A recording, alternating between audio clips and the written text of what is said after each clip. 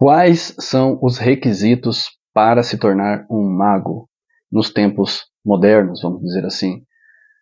Vocês sabem que a gente fala muito de magia natural e que os arquétipos é uma ferramenta de magia natural, mas a pragmagia ela é um conjunto em que você se torna o administrador da sua própria evolução, onde você para de ter somente as outras pessoas como instrutor e coloca todas elas como um grupo, ou seja, o seu mestre passa a ser um conjunto de conhecimento. O seu mestre passa a ser um grupo de entendimento, ou seja, é, a sua religião não é mais só uma religião, a sua religião é uma coisa mais ecumênica.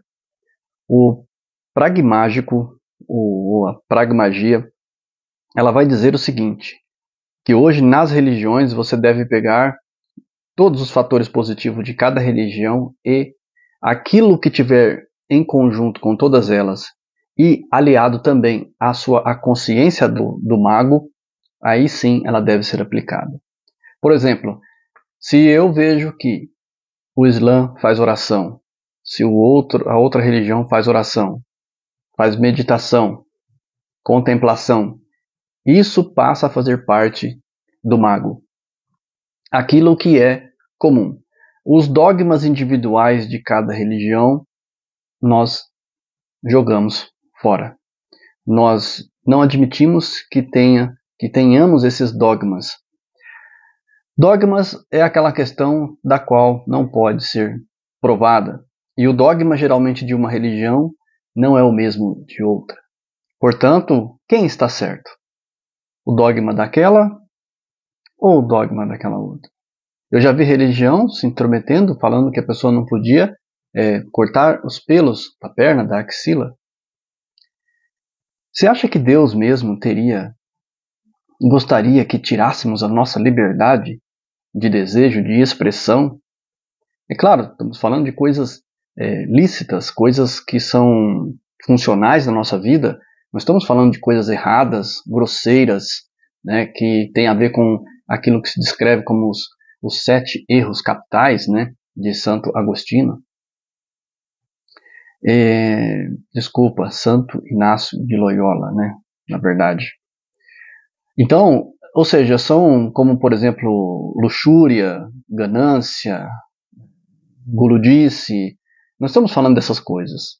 Nós estamos falando de, o dogma é uma coisa que assim a religião te impõe uma forma de viver. E quando na verdade o, o mago da vida ele deve viver sua própria consciência, deve fazer emergir do subconsciente essa relação com a vida. Então eu vivo, eu me expresso, eu caminho dentro de uma filosofia de vida que tem a ver com tudo que eu aprendo. Então eu, eu coloco as minhas rotinas, os meus hábitos encaixando-se dentro disso. Mas há um item muito importante que o que o mago não deve ser, que é o que eu quero falar hoje nesse vídeo. Quando eu digo mago, gente, não tenham preconceito com essa palavra, porque na verdade ela simboliza esse mestrando, esse mestrado que a gente tra trabalha aqui. Os meus alunos já entenderam isso. Esse mestrado é o que? É um caminho de estudo, que um dia se complementa ao outro e a cada estação eu sempre invoco a cada um de vocês para que cada 90 dias mudem seu treinamento pessoal. Escolham seu treinamento pessoal. Eu dou essa liberdade. Para alguns, talvez eu poderia dar o direcionamento direto, mas eu procuro sempre deixar a liberdade em primeiro lugar. Se a pessoa se conquistar se convencer, tudo bem. Mas eu quero deixar um ler um trecho aqui para vocês, para vocês entenderem do que, que nós estamos falando aqui a gente vai debatendo este texto. Eu separei exclusivo para você que está aqui, que chegou até aqui no vídeo e que está querendo entender um pouco mais sobre a pragmagia.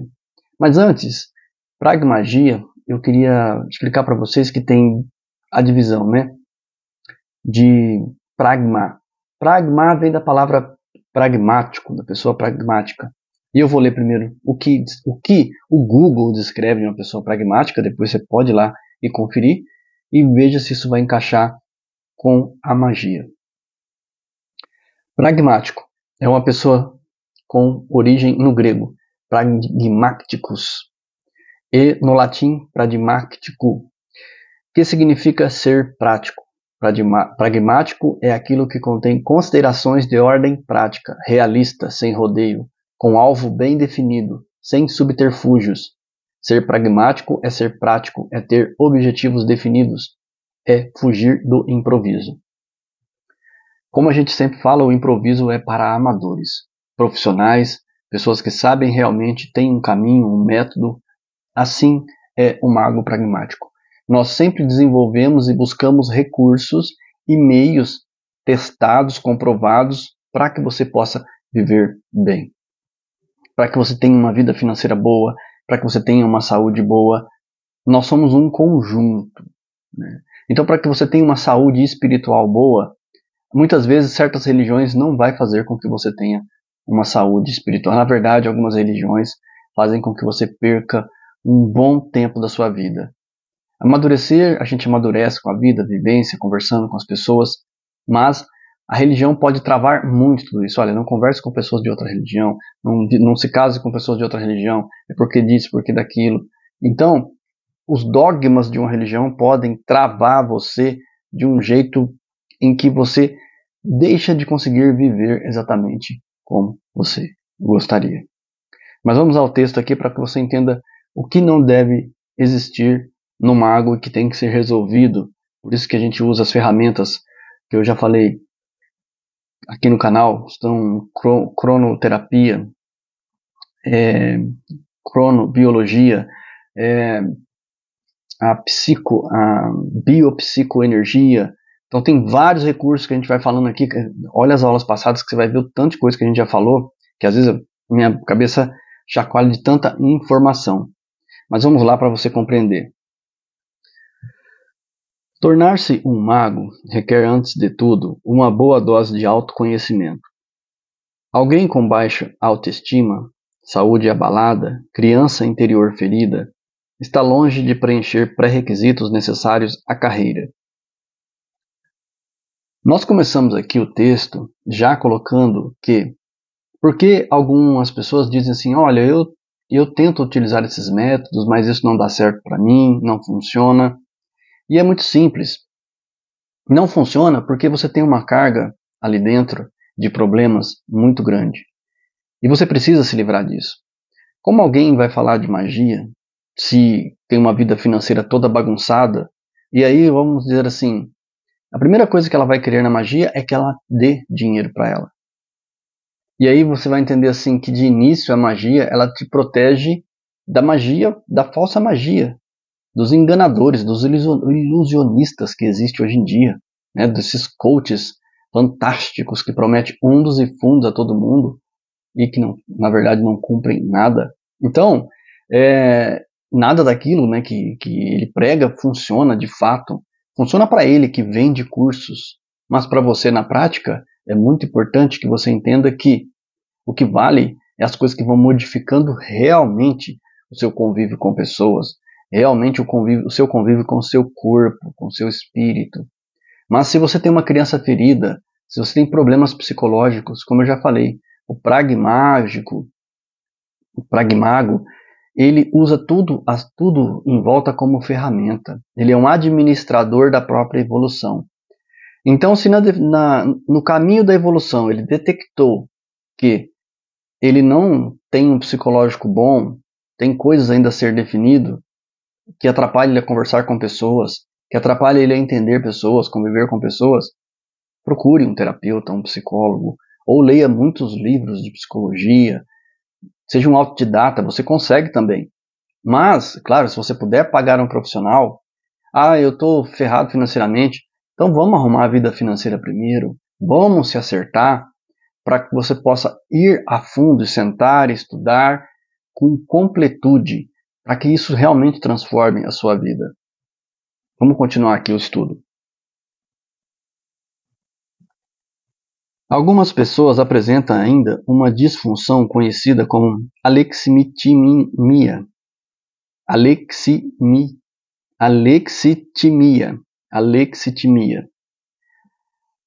Então, as pessoas apresentam essa disfunção, que consiste em não encontrar palavras para descrever uma certa emoção, porque não é capaz de senti-la. Aqui, gente, é aquela coisa assim: como a gente vai evoluir se a gente perdeu a capacidade de ter sentimentos, de sentir as coisas à nossa volta, de entender as coisas à nossa volta? Como a gente vai conseguir fazer o caminho do mago sem, sem viver, sem vivê-lo, sem sentir pedaço a pedaço? Porque uma das regras do caminho do mago é ele sentir a vida ao máximo. Então ele vai daqui ali resolver uma coisa pequena, mas ali ele encontra experiências, pessoas, tatuagens, vislumbres, animais, coisas estão passando a todo momento. Lembre-se, temos que vencer a conveniência e absorver a coincidência para entender o que, que o universo, na leitura da vida, nos põe, nos mostra.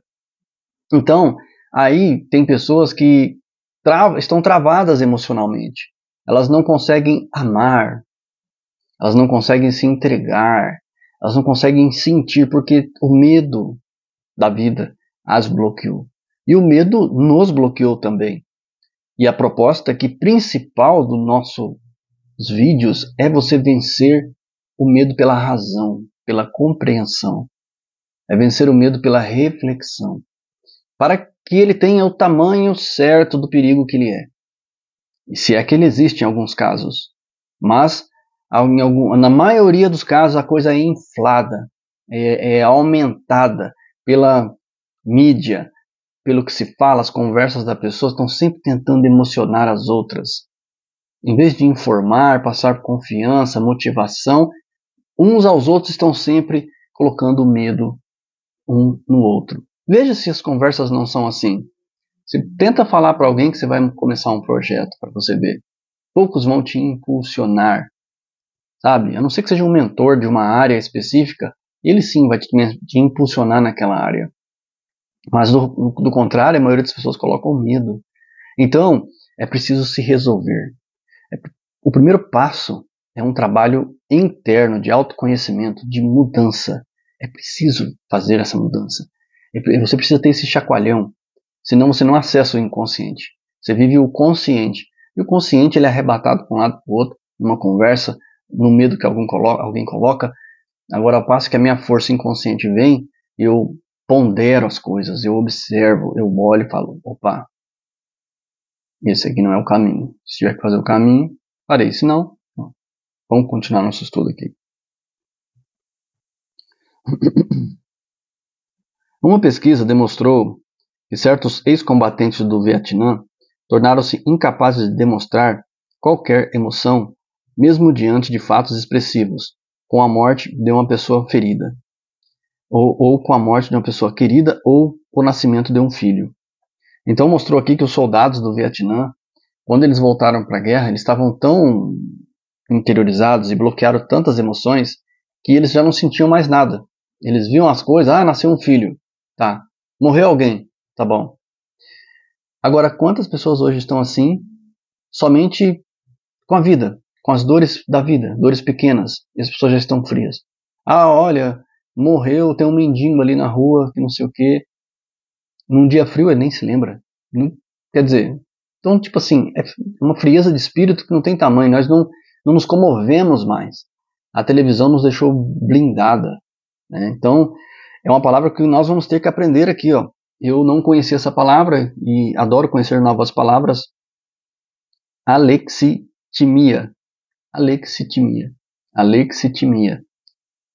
Consiste em não encontrar palavras para descrever certas emoções, porque não é capaz de senti-la. Então, a pessoa ela não é capaz de sentir a, a emoção, então depois a minha comunicação fica fragilizada, eu não consigo comunicar e falar de um jeito certo para que você possa entender e também aprender falando palavras emocionais, eu, eu passo a identificar também quando alguém fala palavras emocionais comigo, entende? É isso que a gente tem que compreender. Que quando eu passo a emanar emoção, eu reconheço a emoção na outra pessoa. Eu posso saber quando realmente ela está. Hoje as pessoas mentem uma para as outras, as outras não conseguem sacar mais. Mas um mago que aprendeu a refinar suas emoções, ele reconhece uma emoção verdadeira. Ele conhece o aspecto da segunda mente que eu sempre falo para vocês, né? A mente oculta. Então ele olha assim, ele sabe que está conversando com o consciente, mas que por trás tem alguém que ambiciona ou deseja alguma coisa. Essa sacada é interessante. Porque quando você está conversando com alguém, fala assim: por que, que você quer tanto isso? Só fica assim: ah. Quer dizer, ela está dando, fazendo rodeios, mas você já captou o que ela quer. Por que, que você quer isso? Né? Então, assim, essas coisas chocam a gente, né? Então, porque, porque você pega de surpresa, porque você consegue captar a segunda a mente oculta. Então, isso é, isso é muito legal, viu, gente? É um assunto interessante. Né?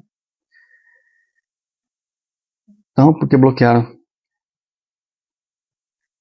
por que bloquearam totalmente suas emoções para combater frente a frente o inimigo. Depois não conseguiam mais senti-las nos momentos apropriados.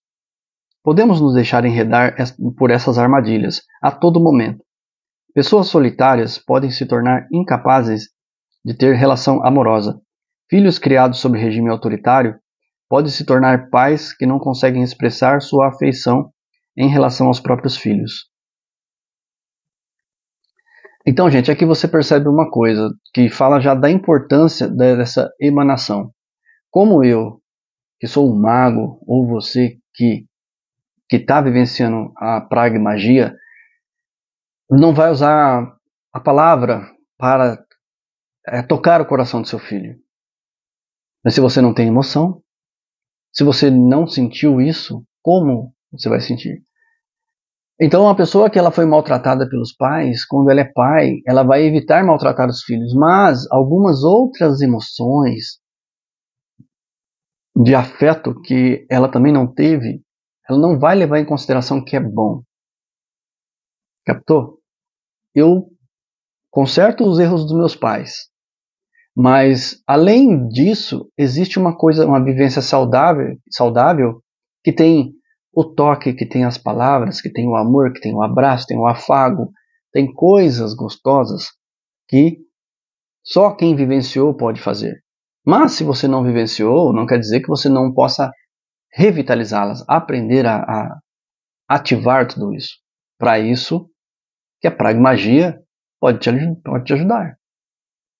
É nesse ponto que ela vai entrar modificando você e você vai se tornando uma pessoa melhor um amante melhor, um pai melhor, uma mãe melhor, um amigo melhor, sabe? Que, que não está tão preocupado em si mesmo ou em si mesma, que começa a preferir ouvir mais, a tentar treinar essa mente oculta. Você vai treinar captando.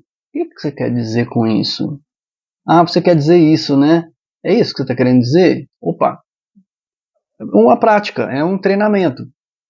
Mas para isso você tem que ter um trabalho de libertação. Você tem que se livrar, liberar um pouco tudo isso, ficar tranquilo. Aí sim a coisa melhora. Então, não é que um pragmago não tenha religião. Ele prefere estudar todas, ter a liberdade de estudar todas, pegar o que há de melhor em todas elas, colocar na sua vida. Vendo pessoas todos os dias, conversando com pessoas, eu prefiro pegar o melhor de tudo, todas elas e colocar nos meus atos, nos meus hábitos. Os melhores hábitos de todos eu coloco em mim. Eu vou fazendo essa inserção em mim e vou me modificando. Me conhecendo, abrindo de novo as emoções para que eu não caia na, na frieza emocional. Então esse é um ponto. Deixa eu ver se aqui a gente encerrou aqui. O que geralmente ocorre nos processos de alexitimia não é a negação, isso não aconteceu, mas a recusa aconteceu, mas não tem importância. Olha que importante isso aqui, gente. Aqui é a chave dos traumas. O que geralmente ocorre nos processos de alexitimia não é a negação. Isso não aconteceu. Não é que não, não, aquilo aconteceu, é fato que aconteceu. Mas a recusa, tipo assim, você se recusa, né? Aconteceu, mas não tem importância. Como assim não tem importância? Uma pessoa morreu, um filho nasceu, é, algo, você conseguiu uma vitória. Como assim? É preciso aprender de novo a comemorar as pequenas coisas simples para ir evoluindo.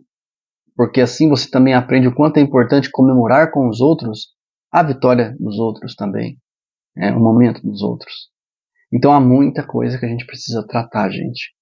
E hoje fica esse ponto é, que talvez a gente coloque aqui, e assim você aprende a falar a palavra assim como eu também estou aprendendo aqui, alexitimia, isso? Alexitimia e a pragmagia, para que você compreenda um pouco mais. Serenidade profunda em seu coração, eu me torno você. Obrigado por sua presença, se inscreva, considere ser membro aqui do canal. Tchau.